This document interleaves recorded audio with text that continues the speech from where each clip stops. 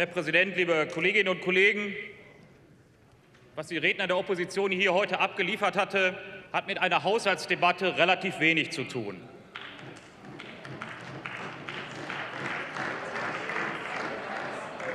Ja, vielleicht musste man das auch erwarten angesichts des heraufziehenden Wahlkampfs. Aber dass Sie sich der Sachauseinandersetzung vollständig entzogen haben, finde ich ehrlich gesagt schon einigermaßen peinlich und unangemessen.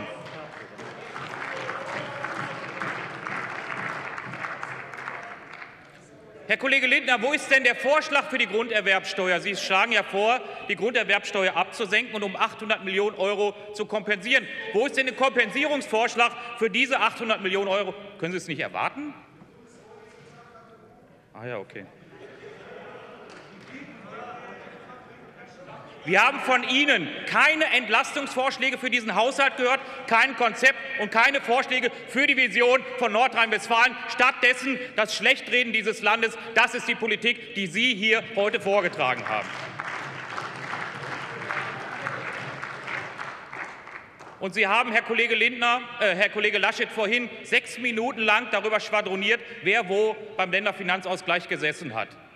Stattdessen haben Sie aber kein einziges Wort darüber verloren, was Sie denn zum Länderfinanzausgleich sagen. Das ist typisch Laschet, sehr viel Nebel machen, aber kein Signal setzen, wo es mit, Land, mit diesem Land hingehen soll.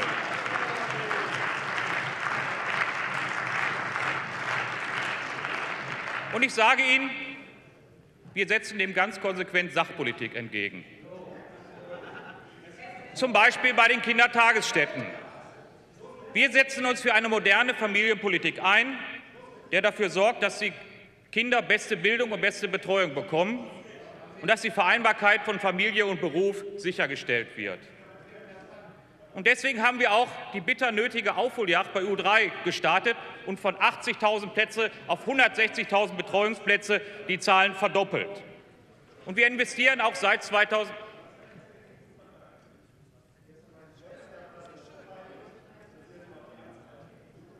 Und wir investieren seit 2015 auch das komplette Geld, was aus dem Betreuungsgeld frei geworden ist, 430 Millionen Euro in den Ausbau der Kindertagesstätten. Und wir haben auch den jährlichen Aufwuchs von 1,5 auf 3 Prozent angehoben. Und wir werden in der neuen Legislatur und wir werden in der neuen Legislaturperiode ein umfassendes Konzept zur Neukonzipierung und Finanzierung der Kita-Finanzierung darstellen, was Sie, Herr Kollege Laschet, in Ihrer Amtszeit hinterlassen haben.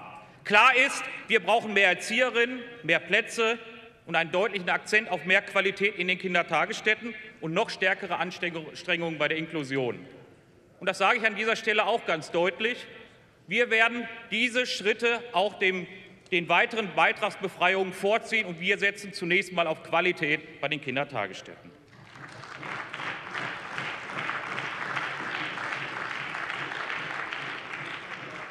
Herr Präsident, sechs der zehn größten Hochschulen sind in Nordrhein-Westfalen. Und hier liegt auch ein wichtiger Schwerpunkt für unsere Zukunftspolitik. Wir haben die Studiengebühren abgeschafft und trotzdem 2,6 Milliarden Euro zusätzlich in die Hochschulen investiert. Das ist ein Aufwuchs von fast 45 Prozent in den letzten sechs Jahren.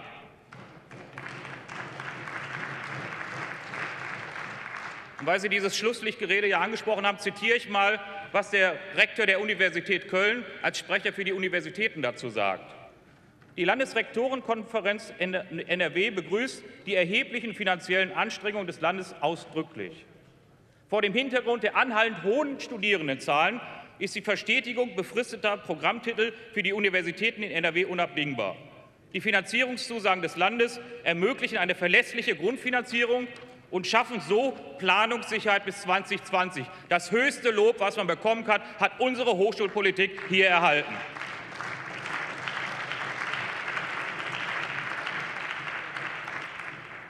Und wir sorgen dafür, dass in Nordrhein-Westfalen so viele junge Menschen wie nie zuvor einen akademischen Abschluss machen können. Und zwar aus allen sozialen Schichten. Fast 28 Prozent der Studierenden in der Bundesrepublik Deutschland sind in Nordrhein-Westfalen eingeschrieben. Das ist mehr als Bayern und Baden-Württemberg zusammen und deutlich mehr, als es unserem Bevölkerungsanteil entspricht. Nordrhein-Westfalen ist Hoch Hochschulstandort Nummer eins in Deutschland. Das ist die Wahrheit über unser Bundesland und nicht das Schlechtreden von FDP und CDU, was hier kommt.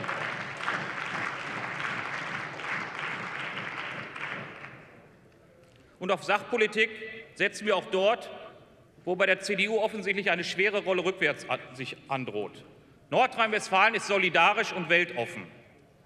Und deswegen war es auch wichtig, diesen besonderen Geist Nordrhein-Westfalens aufzugreifen und als erstes Bundesland einen Integrationsplan vorzulegen. Und dabei stimmen mir wichtige Faktoren wie Sprachvermittlung, besondere Integrationsmaßnahmen der Schule, besondere Herausforderungen der Jugendhilfe und die Gesundheitsversorgung miteinander ab. Und es ist uns zudem gelungen, die Zahl der Ausbildungsplätze im alten Pflegebereich von unter 10.000 auf über 16.000 nahezu zu verdoppeln.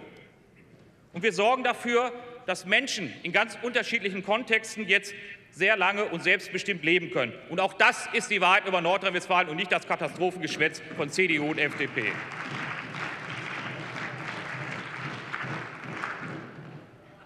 Und was Herr Lindner und Herr Laschet heute geliefert hat, erinnert mich so ein bisschen an Armin Laschet auf der Rennstrecke.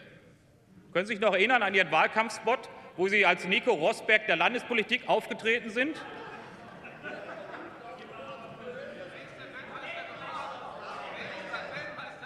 Wo Sie in einem Ford Mustang sitzen und ganz dynamisch den Schalthebel nach vorne schieben? Eine wahnsinnig starke Geste des Aufbruchs für Nordrhein-Westfalen, Herr Kollege. Aber Sie kennen doch die Automatikschaltung, oder? Wenn man nach vorne schiebt, dann ist das da P. Parken heißt das. Der Wagen blockiert. Das ist das, was Sie in Nordrhein-Westfalen machen. Aber egal, bei der CDU fährt das Auto trotzdem los. Nein, meine Damen und Herren, Nein, meine Damen und Herren, der CDU-Film hat einen groben Regiefehler, aber er zeigt viel Realität. Denn der Schnitzer, der dort zu sehen ist, hat bei der CDU in Nordrhein-Westfalen System und er hat sogar einen Namen. Bei Ihnen nennt man das Haushaltspolitik. Und das, was Sie da bieten, Herr Kollege, ist ein Regie Regiefehler nach dem anderen. Es ist bei Ihnen immer das Gleiche. Erst der Spruch, dass Sie unheimlich hochschalten wollen und auch entfesseln wollen. Dann das Verbinden von Populismus und Inkompetenz und dann Blockade und Stillstand. Das ist die Methode, nach der bei Ihnen Haushaltspolitik abläuft, Herr Kollege Laschet.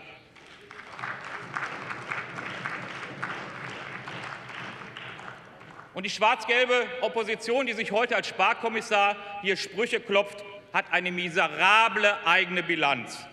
Sie sind 2006 mit, 2005 mit 6,6 Milliarden Euro Neuverschuldung gestartet. Und nach fünf Jahren sind Sie wieder genau bei 6,6 Milliarden Euro Neuverschuldung gelandet. Abbauergebnis gleich null. Fünf Jahre Stillstand, dem sollten keine weiteren Jahre hinzugefügt werden, liebe Kolleginnen und Kollegen.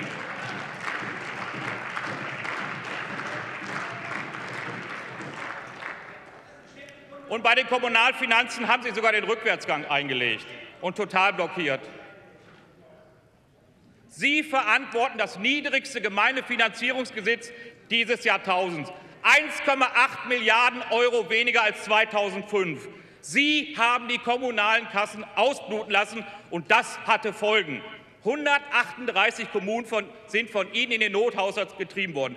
Sie verantworten die Schließung von Schwimmbädern, Sportanlagen und Bibliotheken. Wir sind heute noch dabei, das aufzuräumen, was Sie kaputt gemacht haben.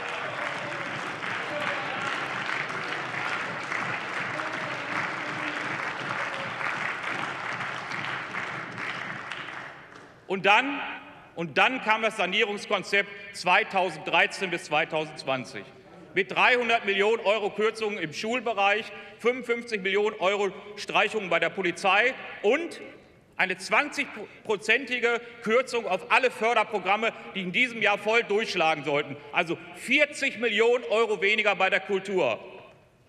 Das Problem ist nur, das haben Sie Ihren Fachpolitikern nicht so richtig gesagt. Denn Herr Dr. Sternberg hat noch im letzten Jahr, denn Herr Dr.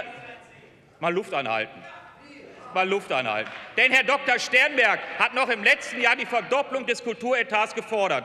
Sehr interessant. Von minus 20 Prozent bis plus 100 Prozent ist bei Ihnen alles drin. Frei nach dem Motto, wir haben alles, nur kein schlüssiges Haushaltskonzept. Herr Kollege, gestatten Sie eine Zwischenfrage von Herrn Professor Sternberg? Nein, gestatte ich nicht. Bitte schön. Nein, liebe Kollegen, alle anderen Redner konnten durchreden. Ich möchte das jetzt bitte auch, da bitte ich um Verständnis. Und, liebe Kolleginnen und Kollegen, Sie haben gegen den Ankauf der Steuer-CDs sind Sie Sturm gelaufen. Sie predigten Amnestie für die Steuerhinterziehung. Wir haben jetzt mehrere Milliarden Euro Steuermehreinnahmen, weil wir genau dieses Abkommen mit der Schweiz eben nicht abgeschlossen haben, was Sie wollten, sondern wir setzen mit diesem Finanzminister auf konsequente Verfolgung der Steuerhinterziehung. Und das ist gut so, liebe Kolleginnen und Kollegen. Und dann, dann kam noch eine Ansage aus der CDU. Hochschalten. Hochschalten bei den Einsparungen im Personalbereich. 10 Prozent Kürzungen auf alles. Mehr als 40.000 Stellen sollten weg. Aber bitte nicht kürzen bei Polizei, Schule, Justiz und Finanzverwaltung.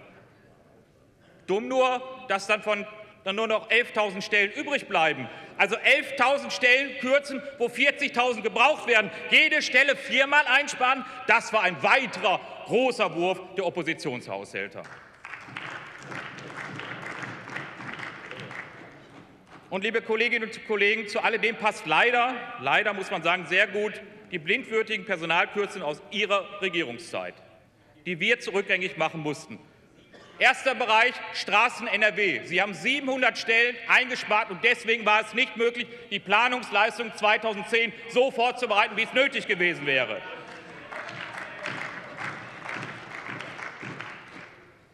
Und erst Grüne und SPD mussten dafür sorgen, dass die Stellen bei der Polizei nicht ausbluten. Mit der Erhöhung auf mittlerweile 2000 Einstellungsermächtigungen haben wir den Personalbestand bei der Polizei seit 2010 sogar erhöht. Hätten wir die Quote von Schwarz-Gelb fortgeschrieben, wären heute nur noch 35.000 Polizistinnen und Polizisten im Dienst und nicht 40.000, wie es jetzt sind. Mit Herr Kollege Lindner, mit anderen Worten, während Sie heute noch an der Macht, hätten wir 5000 Polizistinnen und Polizisten weniger. Sie sind das größte Sicherheitsrisiko für Nordrhein-Westfalen. Nein, Herr Kollege, es ist wirklich einfacher, ein Pudding an die Wand zu nageln, als bei der CDU eine Logik in die Haushaltspolitik zu bekommen. Sie reden vom Hochschalten und Entfesseln, und Sie produzieren nur Stillstand und Blockieren. Das ist die Wahrheit über Ihre Haushaltspolitik. Und jetzt, Gott sei Dank rechtzeitig vor der Wahl, produzieren Sie wieder weder Fortschritt, Entschuldigung, reden Sie wieder von Fortschritt und produzieren wieder nur unsoziale Politik. Herr Kollege Lindner hat es ja offen gesagt, und ich frage auch Sie, Herr Kollege Laschet, planen Sie wirklich die Wiedereinführung der Studiengebühren? Das wäre eine klare Ansage an die 763.000 Studierenden in Nordrhein-Westfalen und an ihre Familien. Wenn Schwarz-Gelb kommt im Mai nächsten Jahres, dann wird Studierenden wieder Geld weggenommen. Dann werden die Bildungschancen wieder vom Geldbeutel der Eltern abhängen. Und genau für eine solche Politik wurden sie doch abgewählt. Und wir werden alles dafür tun, dass das auch nicht wiederkommt. Genau darüber wird am 14. Mai 2017 auch abgestimmt. Und die gleiche unsoziale Politik sehen wir bei den Kita-Gebühren, die Schwarz-Gelb wieder einführen und anheben möchte, und bei der Abschaffung des Sozialtickets, wie es die FDP diese Woche wieder gefordert hat.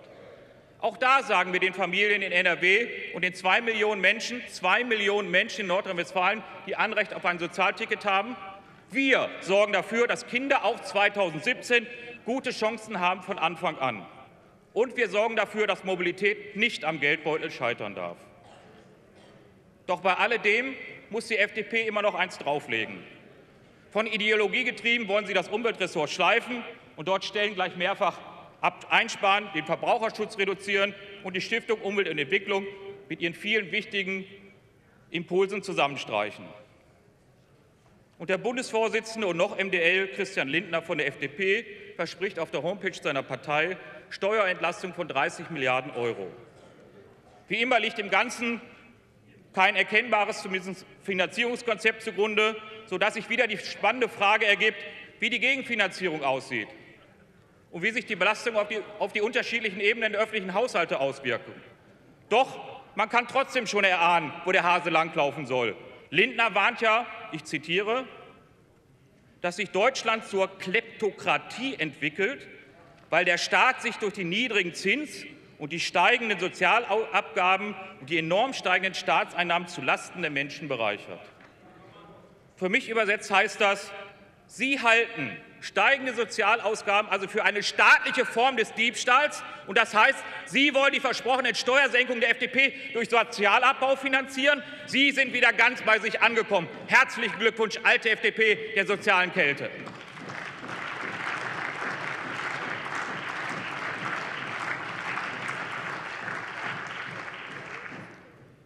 Rot-Grün betreibt keine Ankündigungspolitik. Im Unterschied zu Ihnen handeln wir konsequent und mit langen Atem.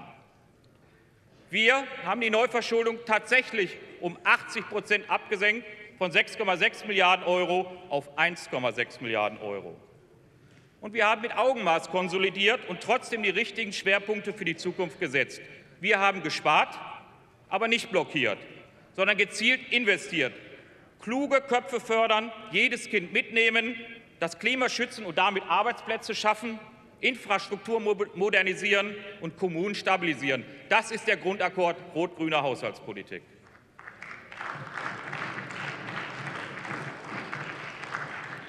Die Kommunen sind für uns eine Herzenssache. Von den 138 Kommunen, die Sie in den Nothaushalt getrieben haben, haben wir 129 dort wieder herausgeholt.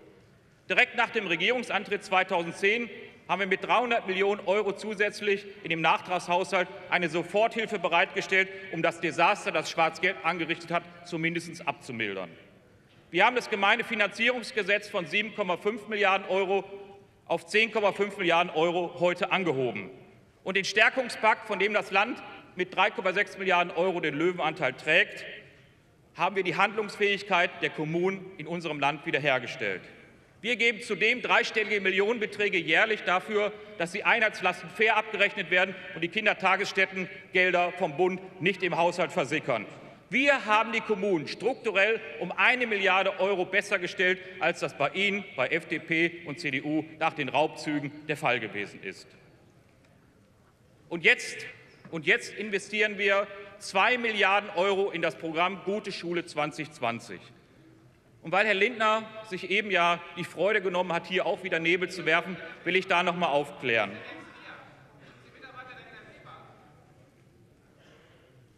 Wir stellen zwei Milliarden Euro bereit, und das funktioniert so, dass die Kommunen die Mittel, dass die Mittel wir, wir, diskutieren das ja gleich. Zwei Milliarden Euro stellt das Land bereit, und wir finanzieren die Kredite, die die Kommunen aufnehmen, eins zu eins gegen. Und das hat folgende Auswirkungen, im Gegensatz zu dem, was der Kollege Lindner gesagt hat.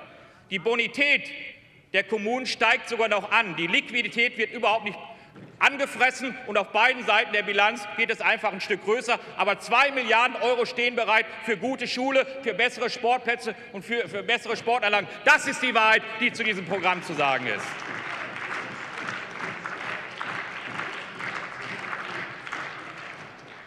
Und das alles zeigt, wir regieren Hand in Hand mit den Kommunen. Wir kippen unsere Probleme nicht vor der Haustür der Städte ab. Wir haben die Fesseln gelöst, die Sie den Kommunen angelegt haben. Und das ist der große Unterschied zwischen Rot-Grün und Schwarz-Gelb, liebe Kolleginnen und Kollegen.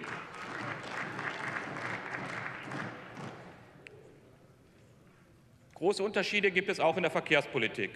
Mobilität interessiert die FDP ja nur, wenn es stinkt, laut und teuer ist und möglichst viel Platz wegnimmt. Wir Grüne, wir Grüne bekennen uns zu einer, dagegen zu einer effizienten, sozial- und umweltverträglichen Mobilität. Mobilität muss bezahlbar sein. Wir wollen die Verkehrsinfrastruktur sanieren und erhalten und vor allem im Bereich der Schiene- und Nahmobilität ausbauen. Der Substanzerhalt von 13.000 Kilometern Landesstraßen ist nach Meinung fast aller Fachleute, inklusive der angesprochenen Präsidentin des Rechnungshofes, inklusive des Rechnungshofes, dem zweifelhaften, teuren und verkehrspolitisch fragwürdigen Neubau vorzuziehen. Und deswegen haben wir auch den Etat für die Sanierung der Landesstraßen von 73 Millionen Euro auf mittlerweile 127 Millionen Euro angehoben. Und durch die Erhöhung und durch die Erhöhung der Regionalisierungsmittel setzen wir einen klaren regionalen Akzent für den Bezug der Schienenverkehrspolitik.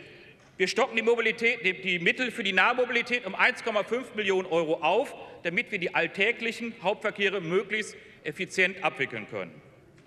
Und auch bei diesen Förderungen, liebe Kolleginnen und Kollegen, geht es um die Gesundheit der Menschen.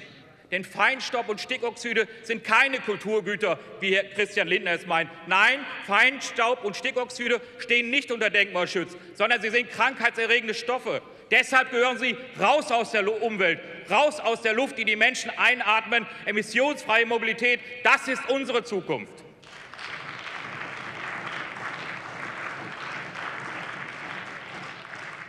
Und deshalb setzen wir uns auch für die Radwege in der Fläche ein. Ja, wir freuen uns, dass unser Premium-Projekt, der Radschnellweg Ruhr, auch von der SPD und von dem Bundesverkehrsminister jetzt als wichtiges Projekt anerkannt wird. Und wir danken dem RVR, dass er dieses Projekt gemeinsam mit dem Land, Dank an den Verkehrsminister, energisch vorantreibt, damit die Menschen künftig weiterhin mobil bleiben und nicht im Stau versauern, liebe Kolleginnen und Kollegen. Unsere Politik zielt darauf ab, dass der Verkehr wieder fließt. Auch deshalb, auch auch deshalb geben wir, ja, deswegen ist es auch schlau, noch mehr Straßen zu bauen, damit noch mehr Leute da im Stau stehen.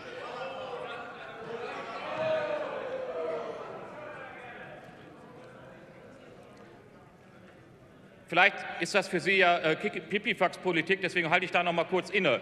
Bei dem Radschnellweg Ruhr, selbst die FDP wird das mittlerweile anerkennen, geht es um eine Verlagerung der Fahrten von 40.000 Fahrten im Ruhrgebiet, die im alltäglichen Verkehr verlagert werden können. Deswegen ist es wichtig, diesen Radschnellweg Ruhr umzusetzen. Es ist keine Müsli-Politik, sondern zukunftsfähige Verkehrspolitik, und die werden wir auch voransetzen. Unsere Politik zielt darauf ab, dass der Verkehr wieder fließt. Auch deshalb geben wir 6 Millionen Euro für den Ausbau von Radstraßen und Landesstraßen bereit.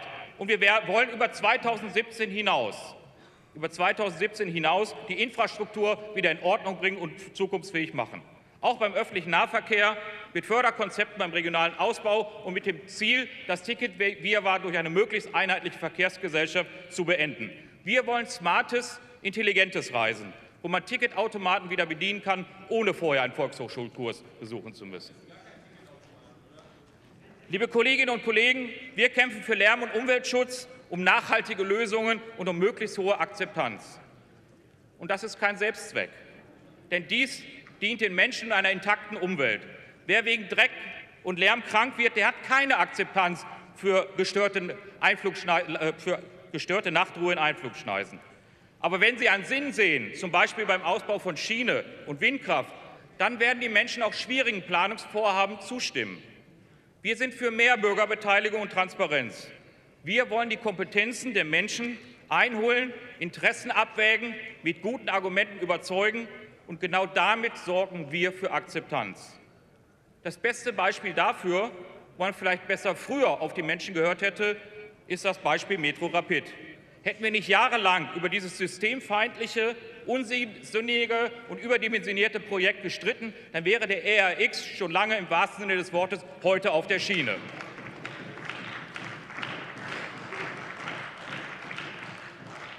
Und es ist auch dem berechtigten Interesse der vielen Bürgerinnen und Bürger zu verdanken, dass die Atomkraft in Deutschland nicht mehr oder bald nicht mehr zum Energiemix gehört. Es ist ein Riesengewinn, meine Damen und Herren, wenn sich die Bevölkerung in Projekte einbringt. Kein Projekt, keine Idee darf im Ob und im Wie alternativlos sein. Dafür sind die Menschen in Deutschland viel zu klug, und deswegen ist Transparenz und Bürgerbeteiligung wichtig.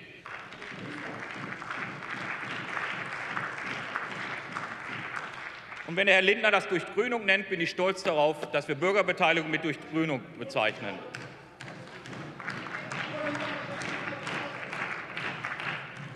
Und genau deshalb, liebe Kolleginnen und Kollegen, haben wir auch mehr Mittel für Bürgerbeteiligung, vielleicht ist es Ihnen entgangen, eingestellt, gemeinsam Rot und Grün.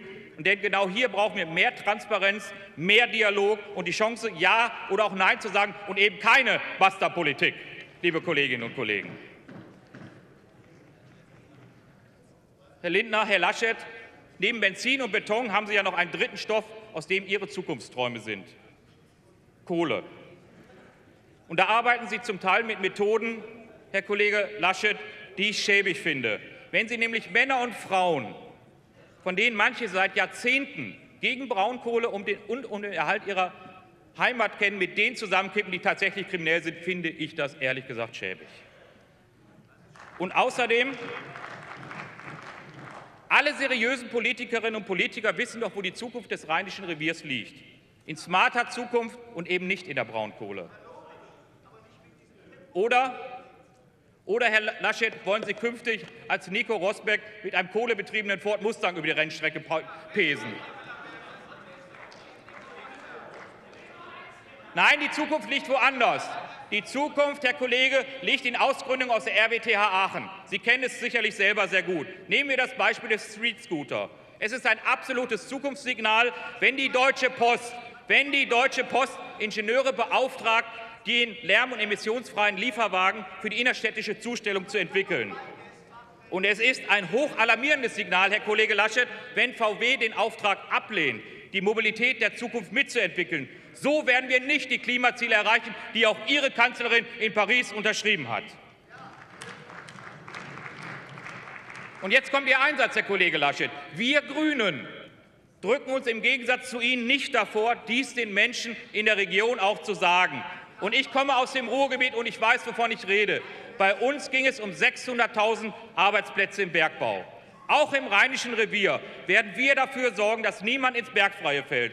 Aber wir müssen jetzt die Nachfolge organisieren. Viele Sozialdemokratinnen und Sozialdemokraten aus der Region sehen das ganz genauso. Denn sie wissen, worum es geht. Die Rahmenbedingungen für die Arbeitsplätze von morgen müssen geschaffen werden. Darum, den Übergang zu gestalten und nicht darum, diesen Übergang heute aufzuhalten.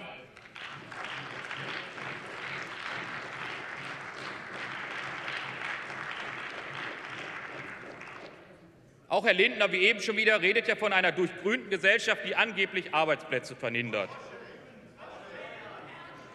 Genauso wie Sie gegen die Mitbestimmung kämpfen, alles natürlich nur aus Sorge um Arbeitsplätze. Da kann ich Ihnen nur sagen, das EEG hat in Deutschland schon mehr als 400.000 Arbeitsplätze geschaffen. Selbst wenn nur einige Ihrer feuchten Betonblütenträume für Nordrhein-Westfalen aufgingen und Sie das ganze Land zubetonieren würden, würde nicht einmal ein Bruchteil an Arbeitsplätzen geschaffen werden, wie das EFG es auf die Kette gekriegt hat.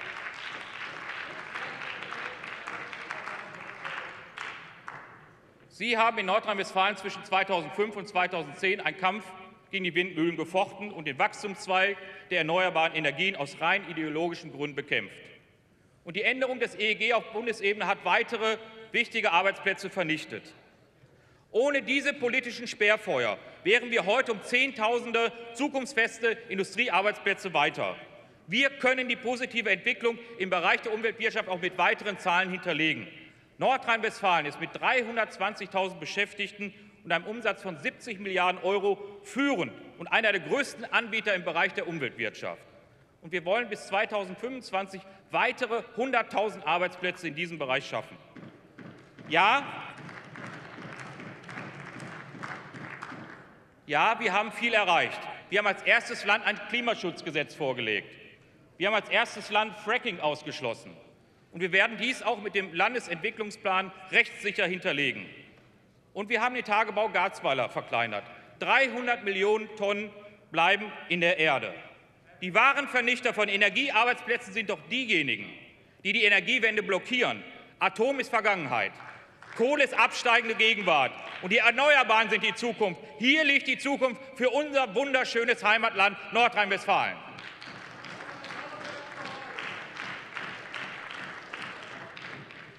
Liebe Kolleginnen und Kollegen, neben der Ökologisierung ist die Digitalisierung die zweite große Innovationsschiene in der Welt von morgen. Beide zusammen liefern den Schlüssel für die Wirtschaft von morgen. Und als Landesregierung bringen wir auch beides zusammen. Wir setzen gezielt auf die Digitalisierung und investieren hier so viel wie noch nie zuvor. Mit der Bereitstellung der Landesmittel für die Kofinanzierung des Bundesprogramms und dem gleichzeitigen vollständigen Einsatz des Landesanteils an der digitalen Dividende 2 für den Breitbandausbau. Liebe Kolleginnen, liebe Kollegen, wir haben eine Opposition, die meines Erachtens ihre Hausaufgaben heute hier nicht gemacht hat und die die Sachdebatte scheut. Das sieht man an der One-Man-Show von Herrn Lindner von der FDP. Sie kennen keine Sachdebatten mehr und auch keine Mitbewerber, sondern mit denen Sie diskutieren wollen. Sie kennen nur noch Feinde, die Sie wegputzen wollen. Sylvia Lehrmann muss weg. Hannelore Kraft muss weg. Klimaschutz muss weg.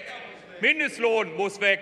Angela Merkel hat den Kontinent ins Chaos gestürzt. Herr Kollege, das ist meines Erachtens eine sehr anmaßende Sprache für eine Partei, wo der Mehrteil, mehr, die, Mehrheit der Wählerinnen und Wähler 2013 gesagt haben, Sie müssen weg aus dem Deutschen Bundestag.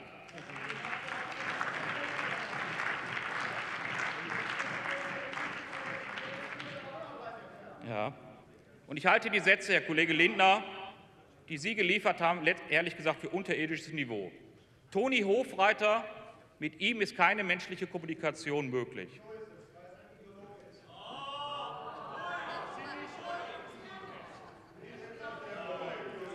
So viel, so viel, Herr Kollege Lindner, so viel, Herr Kollege Lindner, zu Ihrem Fairnessabkommen für den Wahlkampf, das Sie gestern der Presse verkündet haben.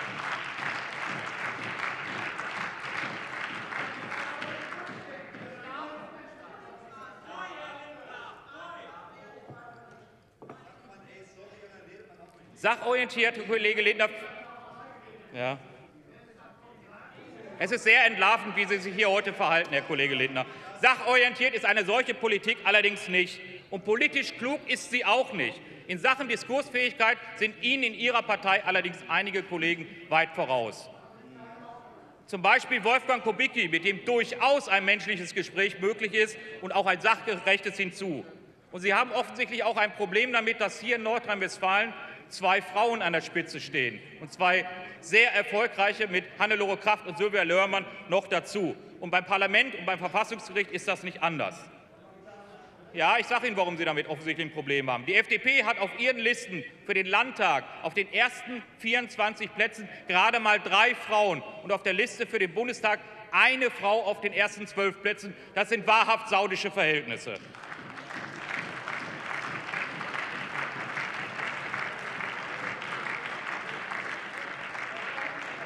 Und da ist es auch nur, und da ist es auch nur konsequent, Herr Kollege Lindner, wenn die FDP Sturm läuft gegen unsere Pläne, die Gleichberechtigung und Gleichstellung der Frauen in der öffentlichen Verwaltung durchzusetzen.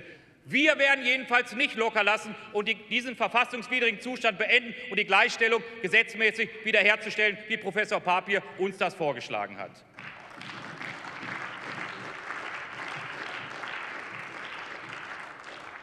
Kaum Frauen Kaum Frauen bei der FDP, aber dafür trotzdem eine Doppelspitze. Herr Lindner in Personalunion für Berlin und für Düsseldorf.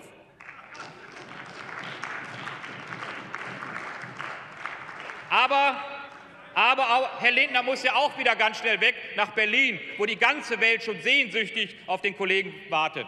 Und deswegen erlaube ich mir eine Frage heute an Sie. Können wir wirklich sicher sein, dass Sie nach der Bundestagswahl weg sind? Oder machen Sie den umgekehrten oder machen Sie den umgekehrten Röttgen mit Landtagsmandat, mit Landtagsmandat als Rettungsschirm und Rückversicherung? Falls es nicht klappt mit Berlin, dann wenigstens doch vielleicht Düsseldorf? Danach sieht das nämlich aus, was Sie hier veranstalten.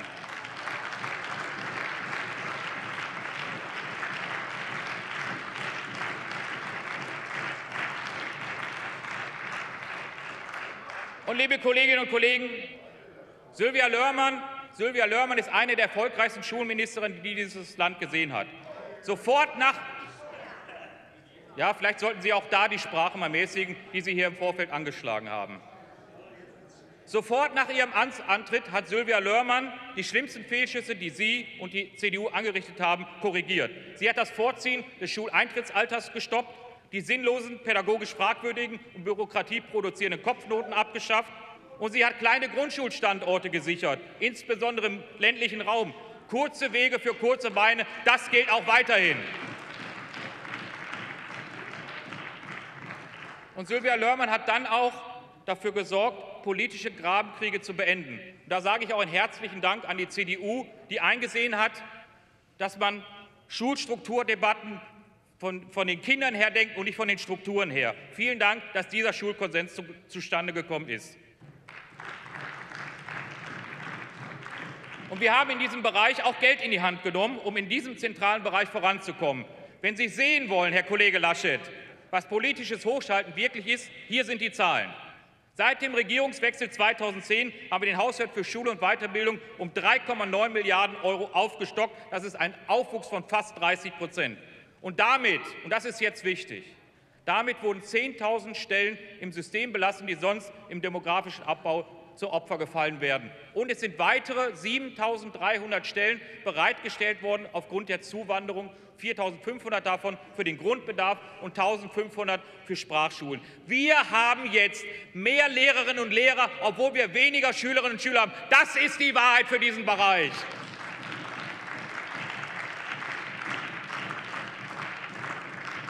Und Herr Kollege Lindner, Sie haben mich als Haushälter geradezu rausgefordert mit, dieser, mit diesem Schmierenkomödie mit den KW-Vermerken. Diese Landesregierung hat als erste Landesregierung in Deutschland reagiert, als die Zuwanderung so deutlich zugenommen hat. Wir haben als erstes Bundesland zusätzliche Lehrerinnen und Lehrerstellen bereitgestellt. Ich habe die Zahlen eben genannt. Und wenn wir jetzt diese Stellen zunächst mit einem KW-Vermerk versehen, dann ist das vorausschauende Politik und kein Versprechen auf, auf die Zukunft. Und wenn die Zuwanderung so bleibt, wie sie ist, werden wir diese KW-Vermerke auch wegnehmen. Aber ins Blaue hinaus die, die Lehrerinnenzahl nach oben zu schieben und so zu tun, äh, als wenn die, diese Zuwanderung immer anhält, das ist unseriös. Und Sie wollten mit dieser unseriösen äh, Spielerei davon ablenken, dass Sie in diesem Bereich nichts zu bieten haben, Herr Kollege. Und jetzt kommen wir zu einem wichtigen weiteren Bereich der Schulpolitik, wo Sie eben auch die, von, das Thema von dem Kopf auf die Füße, beziehungsweise von den Füßen auf den Kopf gestellt hat, muss man ja sagen. Wir haben in diesem Bereich noch eine Menge vor. Von den Kindern her denken, das heißt für uns individuelle Lernzeiten ermöglichen, denn jedes Kind braucht seine Zeit. Statt Strukturdebatten zu führen zwischen G8 und G9 und die Frage der Schulentwicklung gegen Konzepte auszuspielen, sollten wir lieber von den Kindern her denken und nicht vom Gymnasium her, wie es die FDP tut. Bei unserem Modell ist es doch so, dass an jeder Schule G8 und G9 möglich ist und möglicherweise sogar G7 oder G10. Wir schieben die Schulen auch nicht im Konkurrenzkampf untereinander, wie das CDU und FDP tun wollen, wenn sie sich ständig zwischen G8 und G9 im Komplettsystem entscheiden sollen. Und ich sage Ihnen, mal, sag Ihnen mal, was das für die Schullandschaft bedeuten würde. Das würde bedeuten, dass wenn Sie von Oberhausen nach Münster ziehen, die Schule nicht mehr wechseln können. Sie könnten sogar in der gleichen Stadt das Gymnasium nicht mehr wechseln, wenn Ihre Schulpolitik umgesetzt werden würde. Sie wollen deutschlandweit Bildungssysteme vereinheitlichen, in Nordrhein-Westfalen aber neue Hürden aufbrauchen. Das ist doch der größte Widerspruch, den Sie bildungspolitisch überhaupt produzieren können. Und bei uns gilt maximale Flexibilität. Wir halten durch diese Form der Durchlässigkeit das Aufstiegsversprechen für alle Kinder wieder ein. Man kann von jeder Schulform in die andere wechseln. Und bei uns sollen alle Talente genutzt werden und eben nicht in Strukturdebatten aufgerieben. So geht Schule heute, moderne Schule. Damit ist Nordrhein-Westfalen auf einem guten Weg in diesem schönen Bundesland.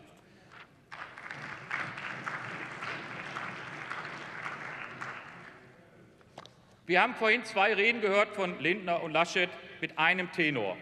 Nordrhein-Westfalen steht am Abgrund. Von Paderborn bis Aachen nichts als Niedergang und Krise und angeblich verursacht durch Rot-Grün.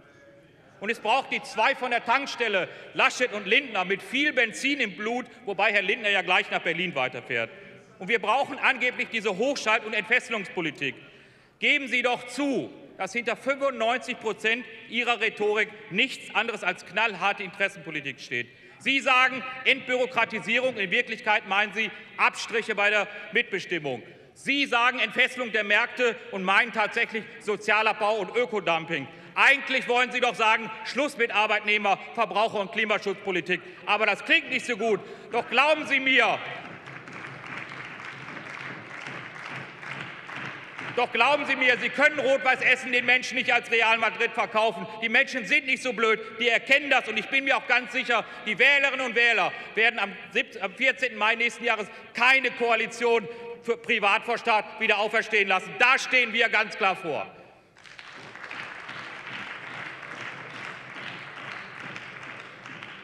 Und die düsteren Prognosen, die Sie hier abgeben, entsprechen auch nicht den Fakten. Und im Übrigen entsprechen sie auch nicht dem Gefühl, das die Menschen in Nordrhein-Westfalen haben. Nordrhein-Westfalen tickt sozial und ökologisch. Und das ist auch gut so und das bleibt auch so. Liebe Kolleginnen und Kollegen, mit unserem Haushalt 2017 werden starke Zukunftssignale gesendet. Wir setzen klare Schwerpunkte für Modernisierung und den ökologischen und sozialen Umbau unseres Industrielandes, für zukunftsfähige Arbeitsplätze, beste Bildung und für einen anspruchsvollen Umwelt- und Klimaschutz. Wir stärken die Infrastruktur, insbesondere auch durch das Programm Gute Schule 2020, unterstützen die Städte nach Gemeinden und Gemeinden nach Kräften. Dieser Haushalt, Herr Kollege, setzt ein klares Signal für ein solidarisches, weltoffenes Nordrhein-Westfalen, in dem es sich lohnt zu leben.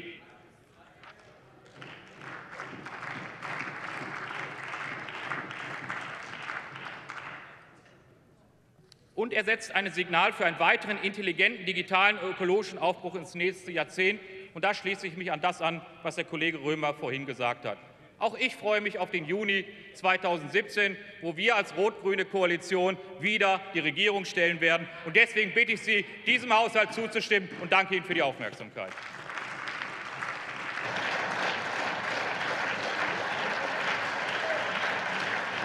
Vielen Dank. Herr Kollege Moskowitz AD. Für die